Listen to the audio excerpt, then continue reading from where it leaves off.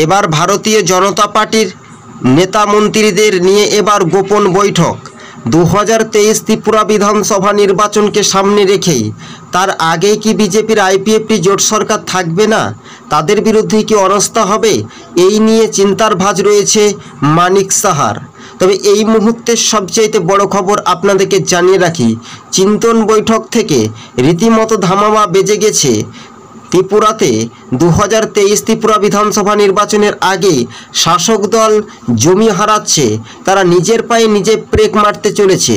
ত্রিপুরা রাজ্যের আইন শৃঙ্খলা পরিস্থিতি নিয়েও ত্রিপুরা রাজ্যের জনগণ শাসক দল বিজেপিকে তীব্র আক্রমণ এবং সমালোচনা করে। দু হাজার আঠারো সালে ত্রিপুরা রাজ্যের বিজেপি সরকার ক্ষমতায় এসেছিল, কিন্তু দু ত্রিপুরা বিধানসভা নির্বাচন বছর ঘুরলে হাতে মাত্র সময় সাড়ে চার মাস। এবার সরাসরি তাদের গোপন বৈঠককে ওপেন চ্যালেঞ্জ করে ত্রিপুরা রাজ্যের জনগণ কি সরকার পরিবর্তনের ডাক দিতে পারে? এই নিয়ে উঠছে সমালোচনা। তবে বিজেপির আইপিএফটি জোট সরকার যে কোনো মুহূর্তে ভেঙে যেতে পারে। জোর ধাক্কা খেলো শাসক দল।